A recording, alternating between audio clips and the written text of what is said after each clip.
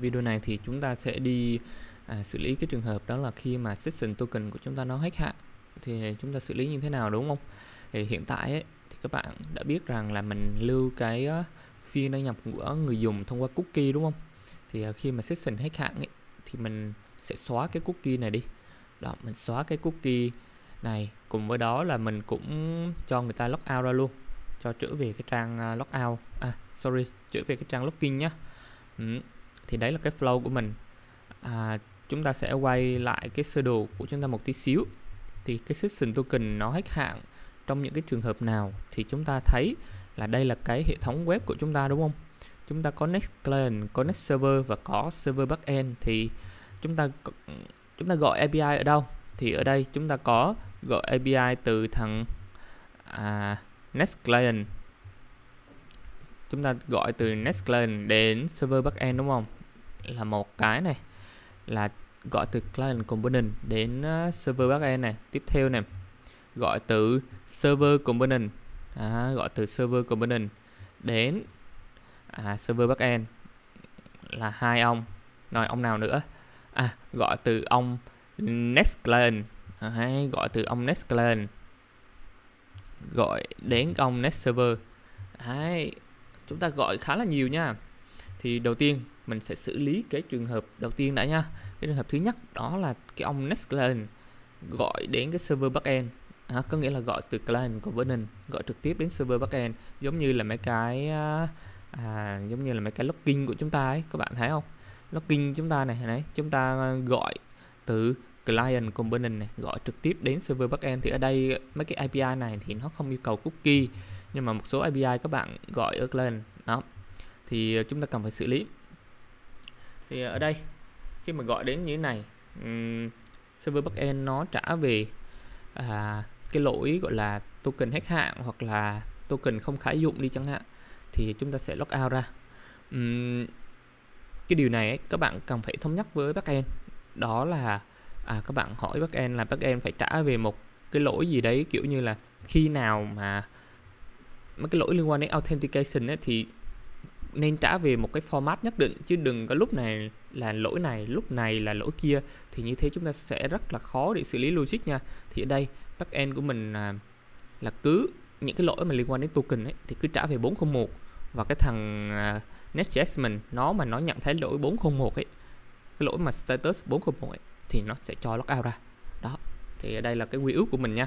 Thì mỗi cái dự án này sẽ có một cái quy ước khác nhau. Ví dụ như một số cái dự án của các bạn nó quy ước là status. 401 ngồi ra thì còn có một cái, cái mã code gì đấy nữa. Đấy thì cũng tùy nha cái này thì chúng ta linh động chứ không nên là cứ cứng nhắc giống như mình. À, cái này thì linh động mỗi bên backend thôi. Thì bây giờ mình sẽ xử lý trước ở cái thằng clan. À, gọi đến đây. Logout thì mình à, sẽ xử lý ở cái thằng là HTTP nhé interceptor thì clan rất là dễ mọi người. Chúng ta xử lý ở interceptor này bởi vì mọi cái mọi cái request nó đều qua cái interceptor HTTP cả. Đó. Uhm. rồi đây là nếu mà cái này nó không có ok thì nó nhảy vô đây. Nếu mà status đây là status 422 nhé rồi bây giờ mình sẽ làm cái status à, 401 khai báo một cái status 401 ở trên này. Constant này http này. À sorry đây là authentication status. Đó đây là 401 nhé. Rồi mình sẽ xuống phía dưới này. À, chỗ này mình sẽ um, tắt cặp lock đi. Else if. À, sorry mọi người sau này máy nó cứ bị nhảy chữ khó chịu ghê ấy. Rồi rs chấm status nếu mà nó bằng cái authentication error status chính là nó bằng cái 401 ấy thì mình sẽ gọi cái API logout. À, gọi API logout đây là gọi ở client nhá thì như mọi người đã biết rằng cái file này nó có thể gọi ở server cũng có thể gọi ở client đúng không?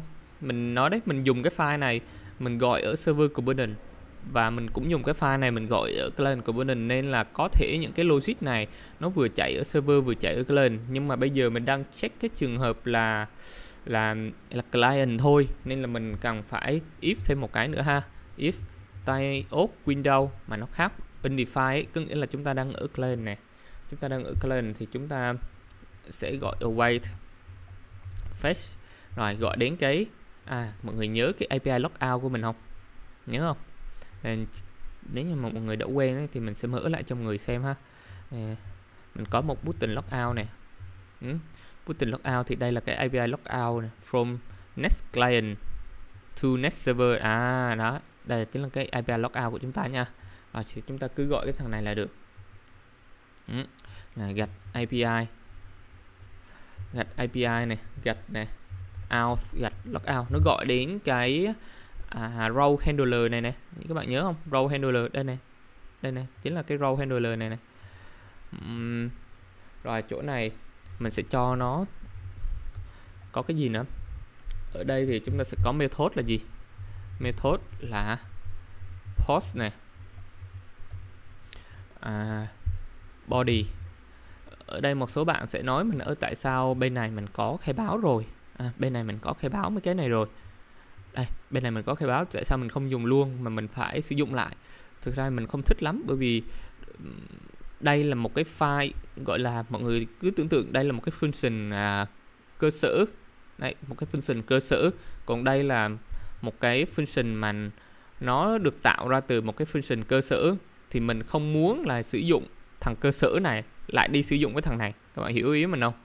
Đó, thằng cơ sở thì nó nên sử dụng những cái cơ sở thôi à, cái body của mình thì mình json này chấm stringify này thì mình sẽ truyền lên một cái object rỗng như thế này.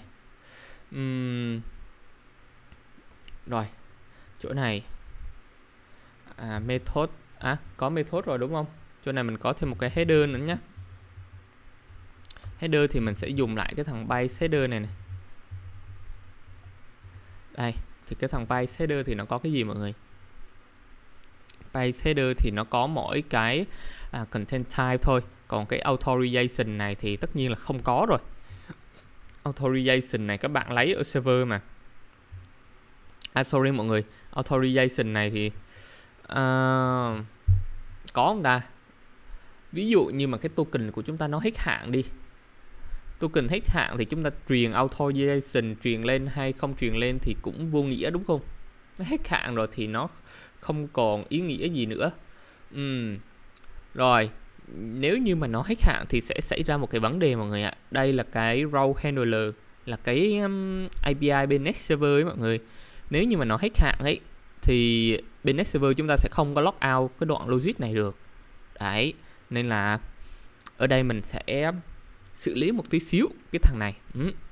thì đây là cái function đây là một cái ờ, uh, logout row handler của mình thì mình sẽ uh, mình sẽ lấy cái ờ, body. Chỗ này mình sẽ đây constant. À, request bằng await này request chấm json thì đây là chúng ta sẽ lấy được cái body nha. Rồi mình sẽ lấy cái giá trị gọi là force. Force này có nghĩa là mình sẽ truyền từ client lên bằng. Response chấm force force à, s thì cái này nó có thể là boolean hoặc là undefined đó. Thì nếu như mà thằng client nó truyền lên là force ấy, có nghĩa là ép buộc phải log out dù cho có session token hay không. Đó, ép buộc phải log out. Ví dụ như trong cái trường hợp mình nói trường hợp session token nó hết hạn đi thì chúng ta không thể xử lý cái đoạn logic này được đúng không? Chúng ta chỉ muốn là à session token hết hạn thì à, log out ra xóa cái cookie đi đó thì mình sẽ xử lại chỗ này nhé.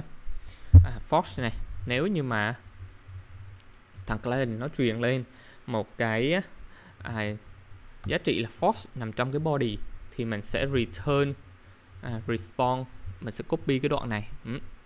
copy cái đoạn này này mình chỉ muốn xóa đi cái cookie mình chỉ muốn xóa đi cái cookie. Chỗ này mình sẽ trả về một cái message đi. Message là buộc đăng xuất thành công nhé.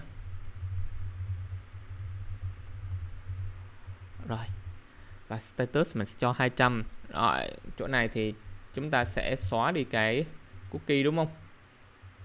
À, xóa cookie thì ở đây mình sẽ giữ nguyên như thế này là đúng rồi. Ok. Còn không ấy thì nó sẽ nhảy xuống cái logic phía dưới này. Đó, không thì nhảy xuống logic phía dưới. Uhm rồi, ok. Thì, mình sẽ lưu đoạn này lại. Mình sẽ qua bên cái http này. Mình sẽ kéo xuống, mình check coi một tí xíu ha. Rồi, đây. Mình sẽ truyền lên một cái force. Force, mình sẽ truyền là true nha.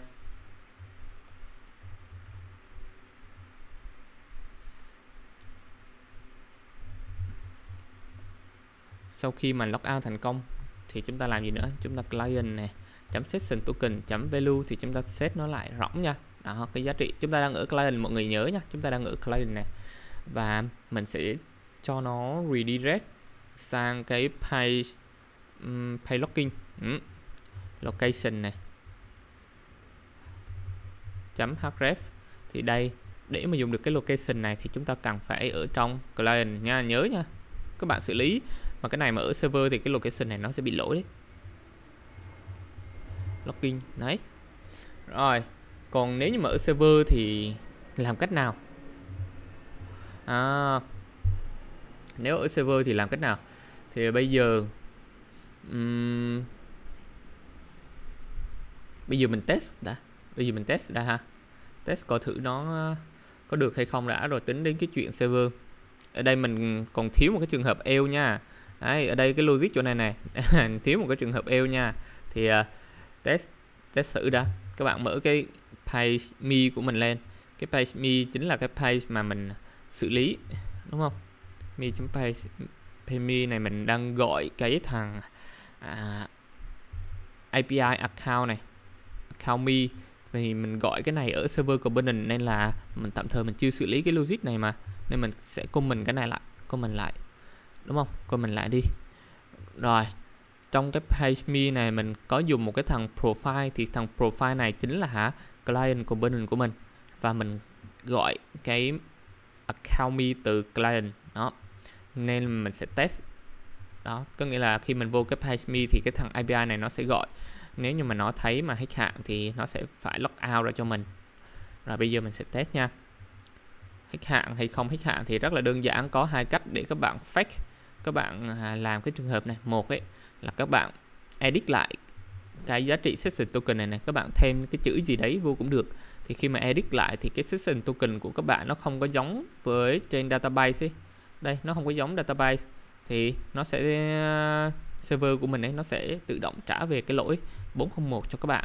Hoặc là các bạn xóa đi, xóa bài mấy cái session token trên à, database đi. Đấy, thì cái thằng này nó không có tồn tại trên database nữa. Thì mình F5 lại nha.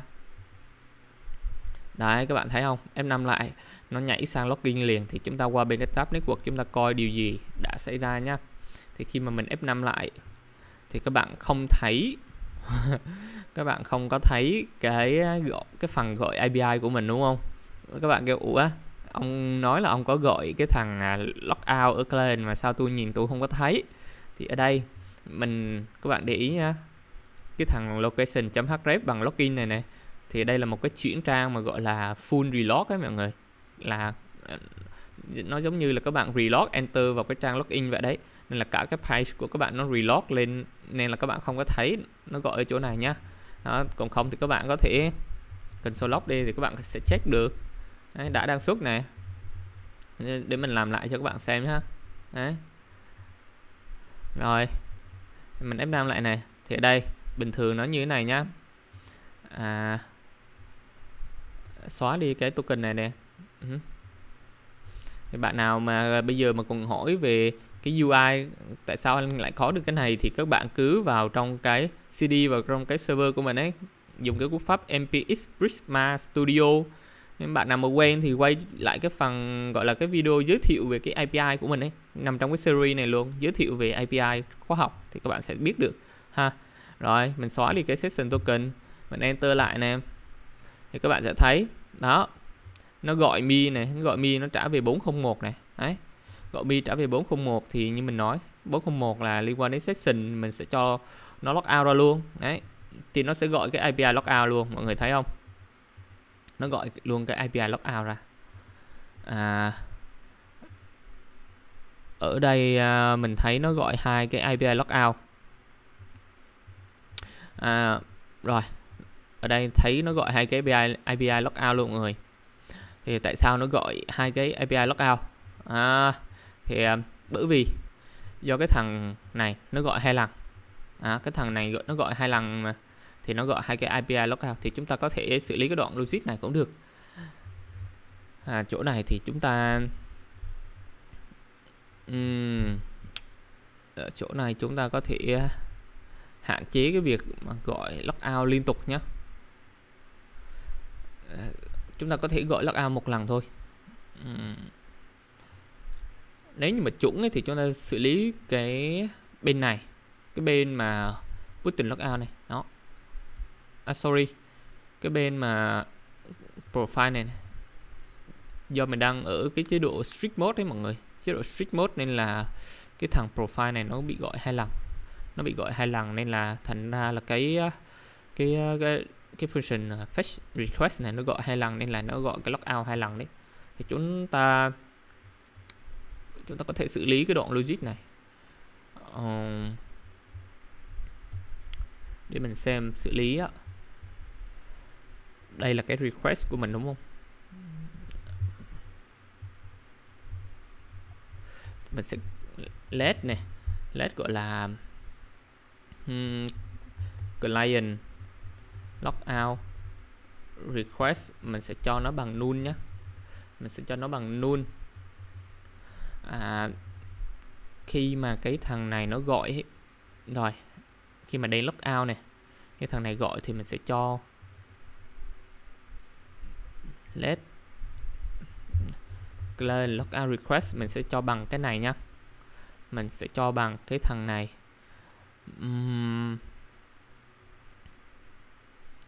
và phía dưới này mình sẽ await client logout request này ok. Cái trên này mình sẽ check. Nếu mà cái thằng client logout request của mình client log uh, client logout request của mình nó không có ấy, thì mình mới à mình mới gọi còn không thì mình không có gọi. Ừ, như thế thì nó sẽ không có bị à, duplicate nữa. À, chúng ta check thử nè. Chúng ta check thử nè. À, bây giờ đang ở đăng nhập đi. F5 lại nè. Rồi vào nè. Nhấn đăng nhập nè. Đó các bạn thấy bây giờ mình sẽ xóa đi cái session token ha. Xóa đi cái session token ở bên database của mình. Rồi mình enter lại nè ừ. chúng ta vẫn thấy nó gọi hai lần hả? Uhm, rồi vẫn thấy nó gọi hai lần. Rồi mình đã hiểu lý do rồi. À sở dĩ nó gọi hai lần là do bên cái function này. Nó gọi bên cái function này mỗi lần nó gọi cái function này là nó tạo ra một cái giá trị uh, client logout request này mới mọi người ạ. Nên là chúng ta có thể đưa cái thằng này lên trên này à, đưa thằng này lên trên. Đưa thằng này lên trên thì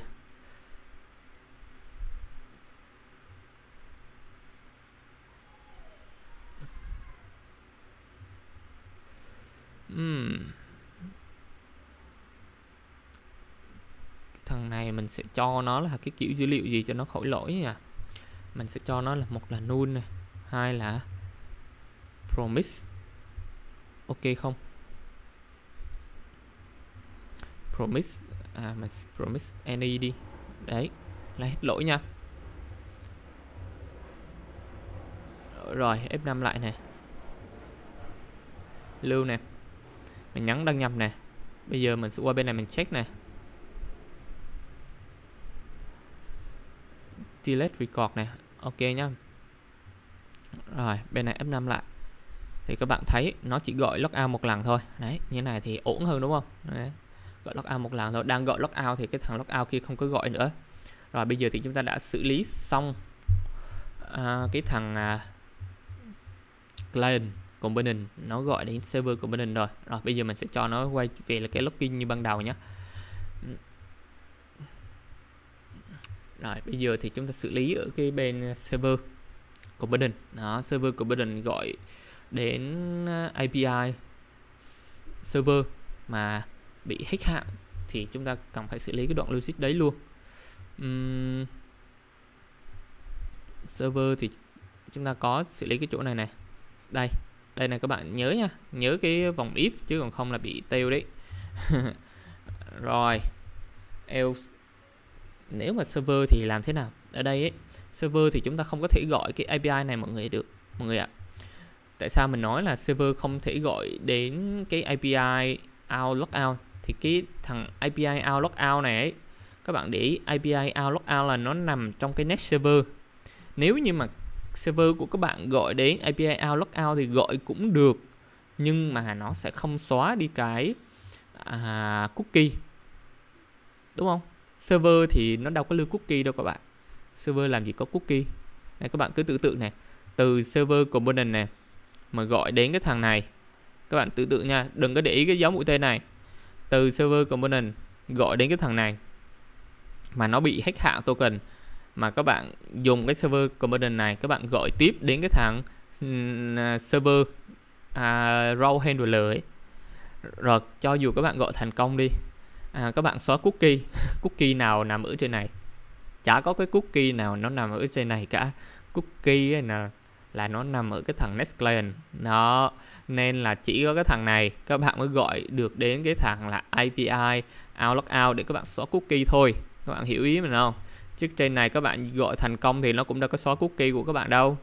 Nên là cần phải có một cái cách nào đấy để chúng ta gọi đến cái logout à, gọi đến cái logout khi mà cái thằng này nó bị hack hạn à, hack hạn thì mình mình đề xuất một cái ý kiến thì đây là một cái à, phương pháp của mình thôi.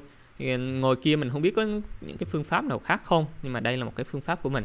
Thì ở đây à, mình sẽ cho nó redirect sang một cái URL là logout. À, có nghĩa là mình sẽ khai báo một cái page gọi là cái page logout như thế này mọi người. Thì khi mà nhảy vào cái page logout này thì nó sẽ logout. Nhưng mà nếu như mà khai báo một cái page logout này thì nó nguy hiểm quá. Tại sao mình nói nguy hiểm? Bởi vì nếu như mà có một cái người nào đấy người ta gửi cho chúng ta cái URL là à, cái trang web của chúng ta xong rồi có một cái dấu xoẹt logout như thế này nữa các bạn bảo người ta bảo mày nhắn vào cái URL này đi. Tôi nhắn vào cái nó logout cái web của tôi ra thì như thế là cái web của tôi nó nó có vẻ nó có lỗ hỏng đâu mặc dầu nó không có nghiêm trọng nhưng mà một cái bức nó không có đáng có. Nên là à, à mình đề xuất ấy là thay vì một cái duyệt logout thông thường ấy, thì mình sẽ có thêm một cái gọi là session token này nữa. Ừ. mình sẽ có thêm một cái session token này nữa ha. Thì cái session token này à, mình sẽ dựa vào cái thằng là à, session token mình lưu ở trong cái cookie ấy mọi người. Đó mình sẽ dựa vào cái session token mình lưu vào trong cookie ấy. Nếu như mà cái session token trên cái URL này này nó mà nó bằng cái cookie ấy nó mà nó bằng trong cái cookie ấy, thì mình mới cho nó logout ra. Còn không thì không có cho. Đó thì khi mà cái thằng nào ngồi kia nó gửi cho mình cái URL thì nó làm gì biết cái session token nằm trong cookie của mình là như thế nào mà nó gửi cái URL chính xác đúng không? À, như thế thì nó sẽ hạn chế được cái việc gọi là một cái thằng nào đấy một thằng hacker nào đấy nó trôn chúng ta nó làm cho web chúng ta logout nó thì ở đây. À, đây là mình đang xử lý bên server nha. À, xử lý bên server này các bạn để ý nha. Xem thì chúng ta cần phải xem cho kỹ. Rồi mình sẽ lấy cái session token. À, session token mình sẽ lấy ở đâu? Thì khi mà server của Binance ấy nó gọi đến cái thằng à, server component này nó gọi đến cái thằng server backend này thì nó cũng phải truyền cái à, authorization header lên đúng không? Các bạn nhớ không? Nó truyền cái authorization header đây nè thì nó cũng phải truyền cái authorization header đây nó cũng phải truyền cái authorization header thì mình sẽ lấy cái session token nằm trong cái authorization này. À, thì ở đây con session token bằng option option chấm header. Ừ, option chấm header chấm authorization này. À, authorization rồi gì nữa? Um, authorization này nó là một cái chuỗi đúng không? Thì mình sẽ split split một cái dấu cách này đó. Rồi split ra được cái mảng thì mình sẽ lấy cái thằng cuối cùng. Và chỗ này thì nó bị lỗi nó báo là cái authorization này, này nó không có nằm trong cái header. Chỗ này SNE đi cũng được. SNE đi tạm thời mình cho SNE đi cho nó nhanh nhá. Bạn nào mà kỹ tính thì các bạn khai báo từng cái type. Uhm chỗ này bạn nào kỹ tính thì có thể khai báo luôn cái beer này cắt một cái. Đây là cái kỹ tính nha. Lấy ra được cái session token rồi thì chúng ta sẽ cho nó redirect này. Redirect. Thì ở đây mình gọi cái function redirect. À, cái function này là từ cái thằng next navigation nha. Thì uh, hiện tại mình uh, thấy cái function next À, cái function là redirect từ cái thằng next navigation này. Đây mình coi trên này thì mình thấy là nó bảo là có thể chạy được ở server component. Đó, có thể chạy được ở row handler. À, và có thể chạy được ở server action. Thì mình đang chạy ở một cái file mà cái file này chạy ở server thôi. À, mình đang chạy ở một cái đoạn logic mà logic này chạy ở server thôi. Nên mình test coi thử là nó có gọi được hay không nha chứ mình không có chạy trực tiếp cái thằng này ở server của bên mình. Đó mình test coi thử nó có chạy được không nha. À, thì dù gì thì chúng ta cũng phải test đúng không? Như mình nói thì mình sẽ điều hướng nó sang một cái trang logout hỏi chấm này session token đúng không? Session token. Ừ, bằng. Rồi ở đây mình sẽ đưa à, chỗ này mình sẽ dùng template string này template string rồi mình sẽ đưa cái thằng session token này vào. Uhm, lưu lại. Thì mình phải khai báo một cái page logout. Đó, khai báo một cái page logout. Thì mình sẽ khai báo nằm trong cái thư mục out này. Logout này. Đấy. page.tsx nha. Rồi. Đây là một cái page logout của mình. À, trong này mình sẽ rfc ok. Khi mà nhảy đến cái page logout này thì um, mình sẽ làm gì? Mình sẽ logout nó ra.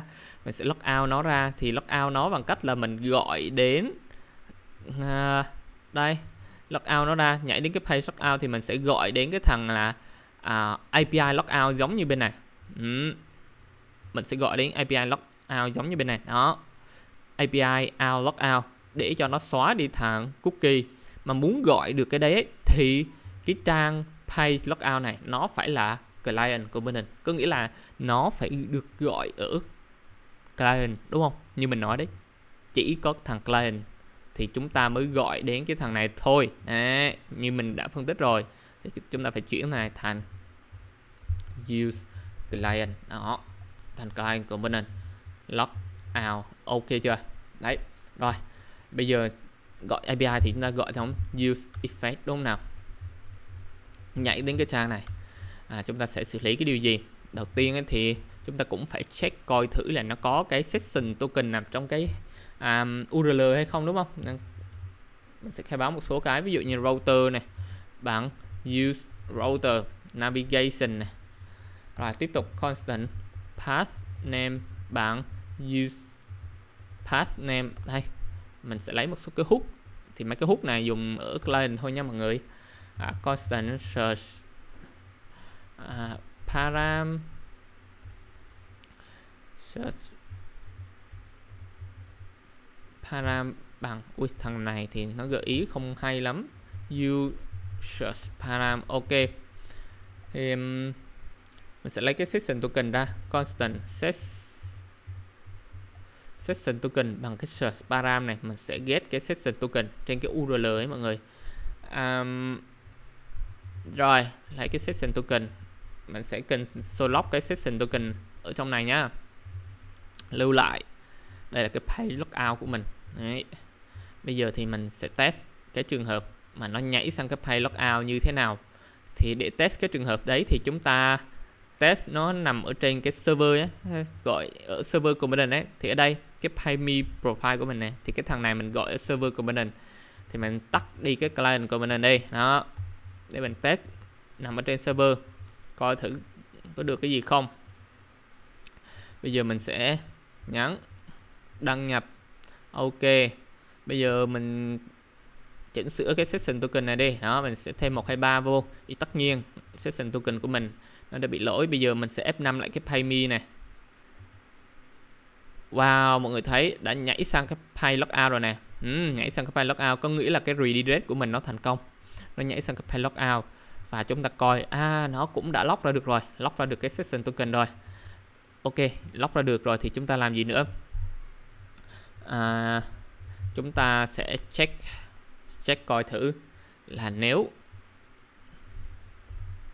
nếu mà cái session token này ấy nó mà bằng cái client session token chấm value của mình nó nếu mà nó bằng thì mình sẽ gọi đến cái thằng API logout API out API request này mình sẽ gọi đến logout logout from next client to next server. Nhưng mà cái chỗ này chúng ta cần phải thêm một tí xíu ở đây.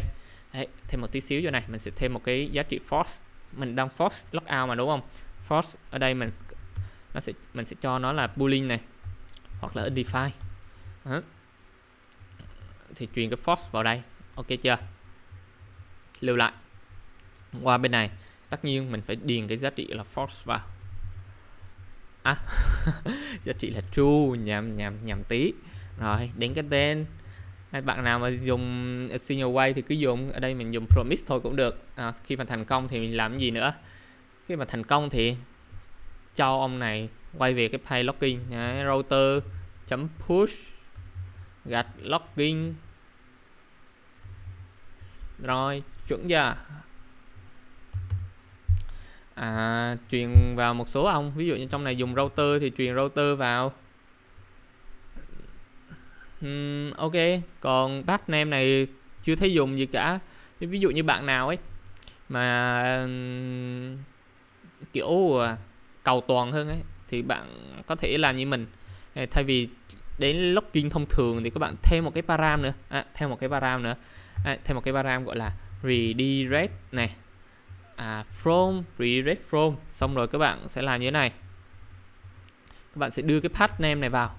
À sorry đưa cái path name vào. Đó. Các bạn đưa cái path name này vào ha. Thì ờ, khi mà các bạn đưa cái path name này vào rồi ấy thì uh, khi mà qua bên pay login ấy, các bạn check coi thử là nó có cái à, redirect from hay không. Nếu như mà có redirect from ấy thì các bạn à, cho nó hiển thị lên một cái thông báo đi gọi là à đã buộc đăng xuất thành công. À các bạn hiểu ý mình không? À, còn không có redirect thành nếu mà nó không có cái param này thì không có cái thông báo đấy. Thì đó như vậy thì nó sẽ tăng cái trải nghiệm mà người dùng lên. Đúng nào. Rồi bây giờ thì mình test coi thử nè. F5 lại nè. À, nhảy sang cấp 2 login liền. Qua bên application thì các bạn thấy. Đấy không còn cái session token nữa. Nó đã gọi logout rồi đấy. Và các bạn qua bên này thì các bạn sẽ thấy này có được cái API logout. À, gọi API logout liền. Các bạn thấy ok chưa? Uhm, ở đây thì các bạn thấy rằng gọi API logout gọi tặng gọi tặng hai lần à, à gọi tặng hai lần cơ thôi kệ nên đôi, đôi khi ấy, mấy cái này chúng ta có thể chấp nhận nó cũng được ha chấp nhận nó cũng được không sao cả. Bởi vì ừ, tại sao nó gọi tặng hai lần mọi người biết không? Ừ, mình à, ở đây mình nghĩ là có thể có thể cái thằng này nó chạy hai lần này cái thằng này nó chạy hai lần mà cái thằng nó chạy hai lần nhưng mà cái chỗ này nó chạy nhanh quá. Cái chỗ này nó chạy nhanh quá mọi người ạ. Nó chạy nhanh quá nên là đấy cái thằng thứ hai ấy là nó vẫn nhảy vô cái logic này luôn. À đến cái thằng thứ hai nó vẫn nhảy vô. Ô, đúng không? Khi mà ở quay quay xong cái thằng này rồi thì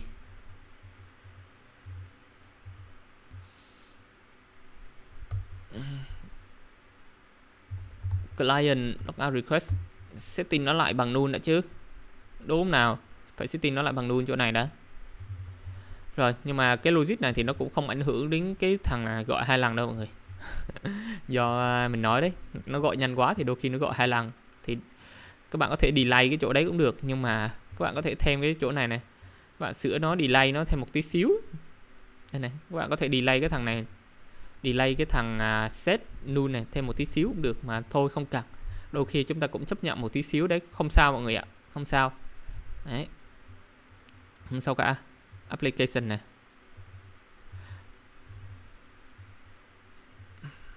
Rồi, mình enter lại. Đó. Nó xóa ngay cái session token của mình đi. Ok không? Đấy. Qua bên này.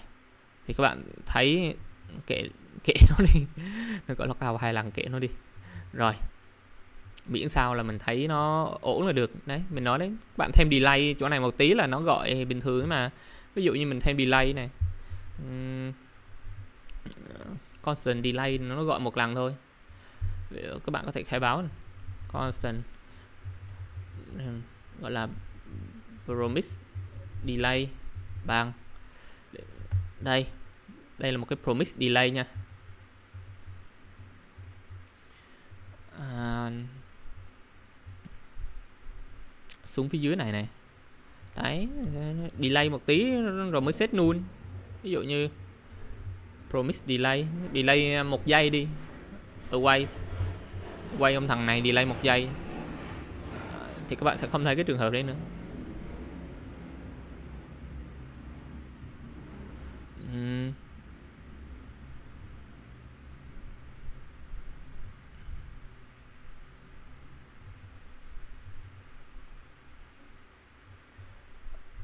à, đôi khi không edit được như này ta. Rồi, em làm lại này. đây, các bạn thấy nó log out hơi chậm một tí đúng không? Nhưng mà bên này nó chỉ, ớ, nó vẫn gọi hai lần à ây da, vẫn gọi hai lần. Chỗ này à, căng này nha vẫn gọi hai lần chỗ này.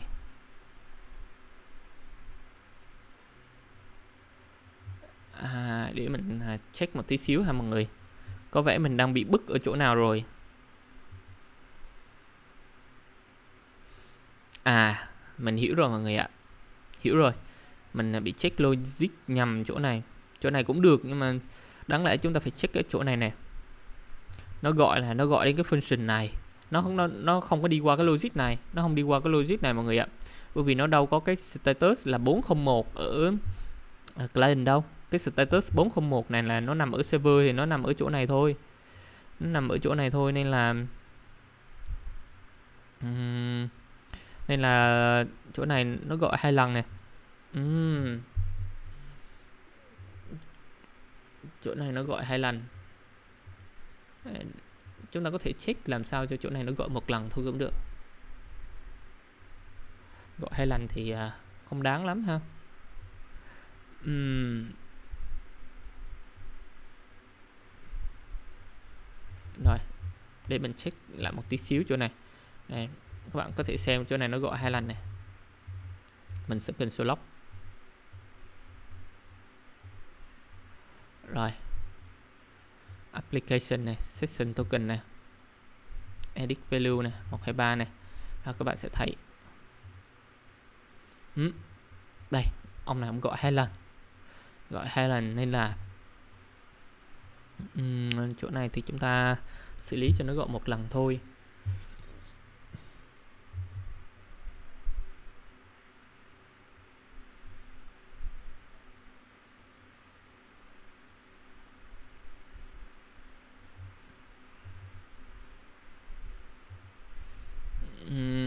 Khi mà chúng ta gọi à, một cái API ở đây ấy thì chúng ta sẽ uh, sử dụng Apple controller để chúng ta hủy nó gọi API nhé à, hủy gọi API đây. Apple controller fetch API rồi. Uhm. rồi để mình xem lại cách sử dụng Apple controller một tí xíu nha. Rồi mình sẽ khai báo một cái controller ở đây này. Controller. Rồi. Thì chúng ta sẽ constant signal bằng controller trong signal. Ok. Chúng ta truyền cái signal vào trong cái option fetch mọi người. Truyền cái signal vào đây. Ở đây chúng ta có thể truyền signal vào. Uhm, đây là option fetch.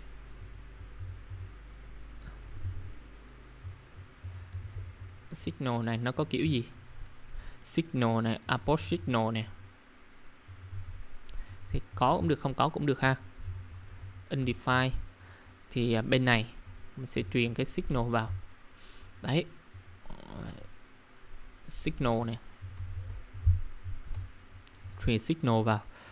À, để mà hủy thì à, chúng ta sẽ sử dụng là controller chấm apport thì nó sẽ hủy nha thì chúng ta sẽ hủy ở đâu? Hủy ở đây này return này um, cleanup function này controller chấm apport. Đó. Rồi để mình test cái trường hợp này thử ha. Test cái trường hợp này. À, login này đăng nhập này xóa này xóa hết mấy cái session token này đi.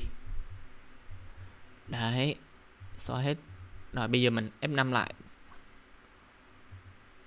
Ờ, các bạn thấy không? Bây giờ nó chỉ gọi một lần thôi. Nó gọi lần đầu tiên cái lần thứ hai. Nó gọi tiếp thì nó sẽ cancel cái lần đầu. À, chúng ta dùng cái apport controller chỗ này là hợp lý luôn. Rồi các bạn thấy nó đã cancel này này. Request nó đã cancel. Đấy, ổn không? À, rất là tốt nha. Thì nếu như mà như thế thì bên này mình sẽ tắt đi cái promise delay này đi. Không cần thiết nữa. Rồi. À, sẵn tiện ở đây. Mình làm một tí xíu nữa. Đó là hiện tại cái uh, thằng session token của mình ấy. Mình lưu ở đây mình chưa lưu cái giá trị gọi là à, ngày hết hạn cho nó nằm trong cái cookie này này. Mình mình đang để mặc định là nó sẽ ghi là cái session như thế này thì không hay lắm mọi người ạ. Mình cần phải đưa cho nó một cái giá trị hết hạn.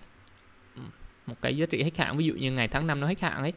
Bởi vì à, à, khi mà nó hết hạn thì cái này nó sẽ auto xóa đi. Nó sẽ hay hơn à, thì các bạn muốn mà biết được cái thời gian hết hạn của session token của các bạn ấy thì các bạn cần phải hỏi bên backend của các bạn nha. Cần phải hỏi cái bên mà cung cấp session token ấy. Thì à, một ấy là ông cung cấp cho tôi cái à, thời gian hết hạn của cái session token để tôi lưu vào trong cái cookie của tôi. Đấy. Hai ấy, ông không cung cấp cái thời gian hết hạn cho tôi cũng được.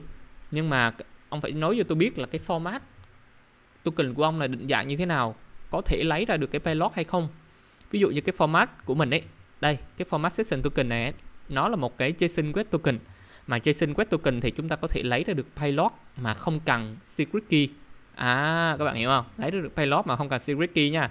Thì um, chúng ta có thể xử lý cái chỗ đấy nằm trong cái API log, login nhé. Khi mà chúng ta login này. À, login thì uh, chúng ta gọi đến cái ông out out này đúng không? Nhớ không? API này out request gọi đến ông out API out này. API out thì gọi đến cái thằng row handler out này này nhớ không? Nhớ không? À, gọi đến thằng này.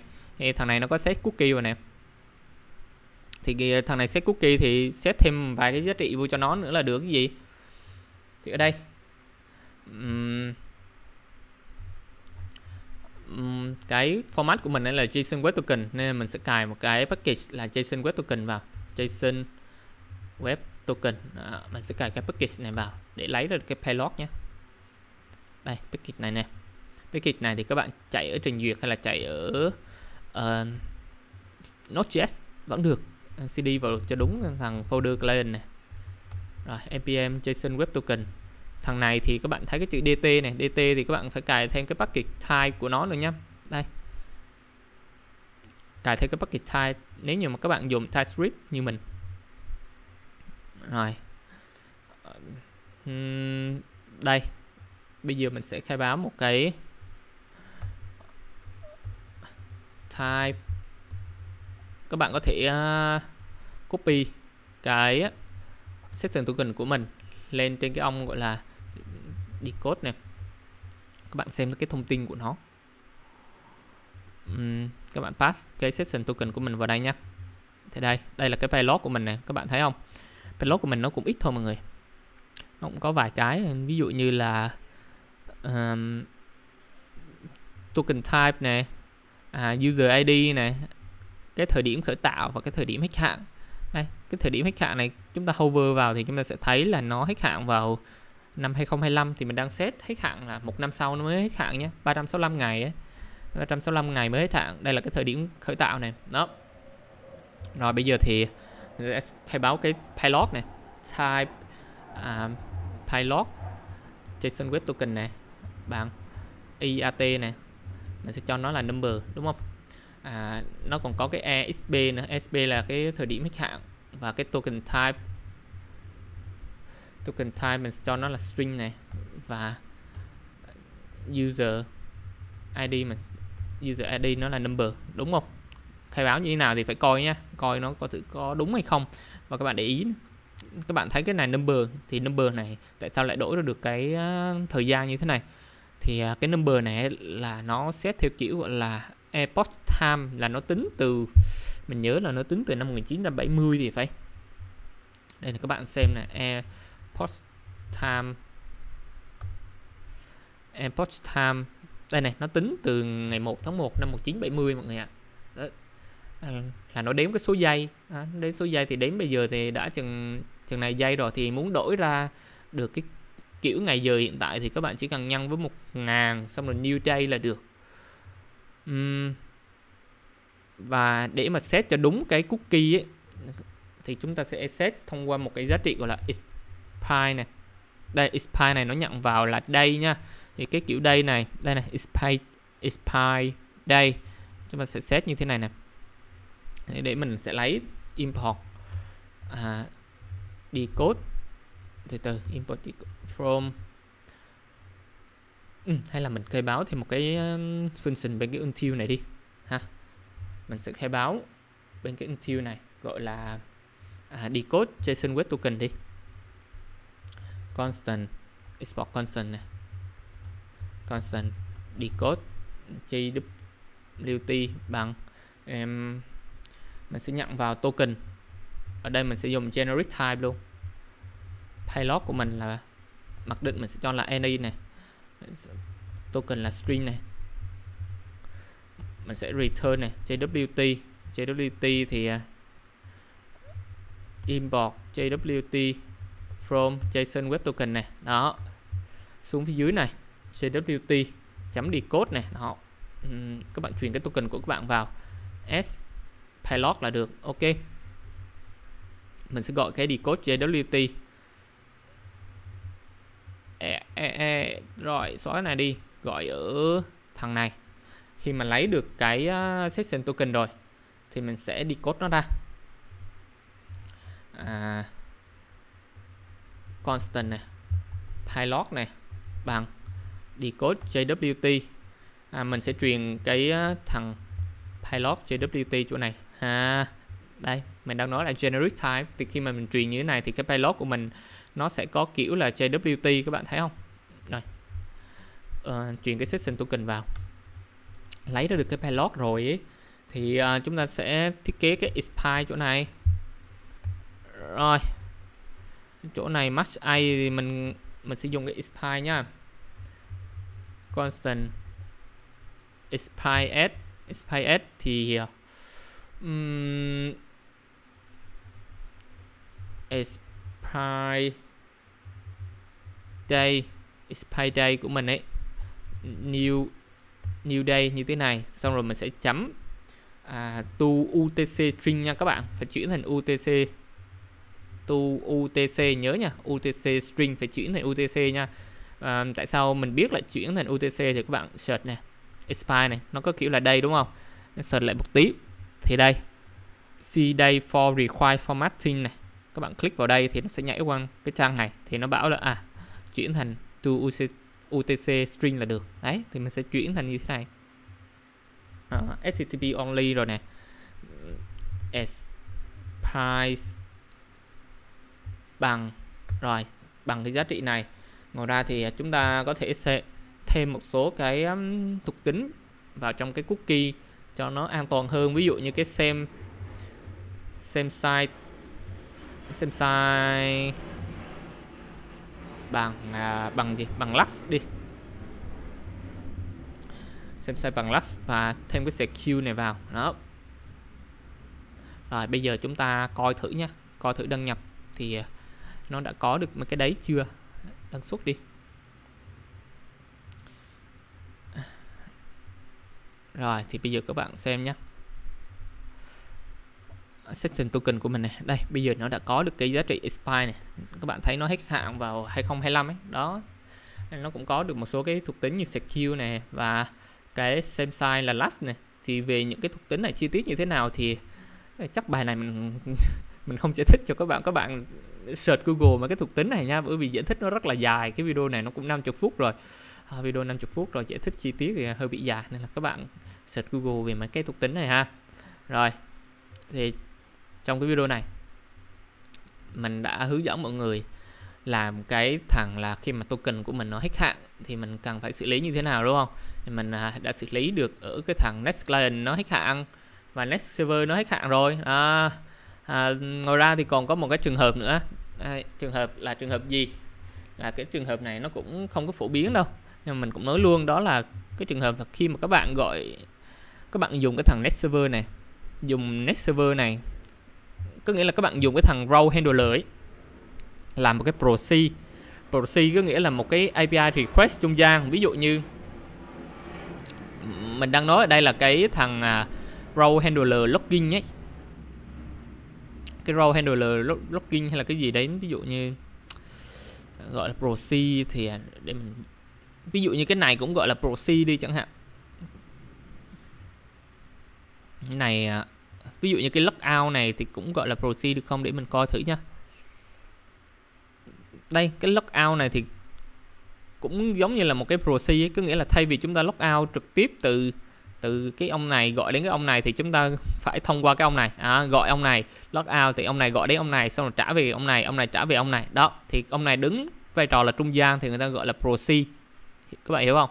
Thì um, sẽ có một số cái trường hợp ví dụ như các bạn gọi thông qua cái thằng này. Ví dụ như các bạn gọi cái suyệt mi đi. À, account mi các bạn gọi đến thằng này.